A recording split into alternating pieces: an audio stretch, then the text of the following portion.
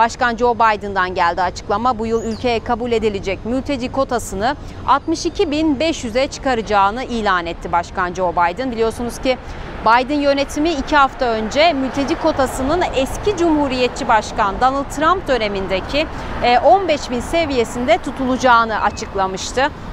Bununla birlikte Biden'ın mülteci kotasını Amerika tarihinin en düşük seviyesinde tutması ise destekçileri tarafından bile tepkiye neden olmuştu. Tepkiye yol açmıştı. Biden bugün bu adımı atmak dünya genelinde çok zorluk çeken ve endişe içinde yeni hayatlarına başlamayı bekleyen mültecilerin kafasındaki şüpheleri ortadan kaldıracak dedi.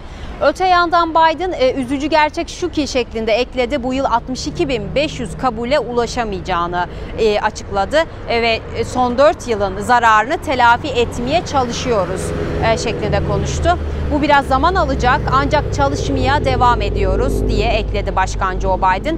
Bakalım Biden yönetimi belirlediği hedef sayıya hangi tarihte e, ulaşabilecek, kabulleri almaya başlayacak.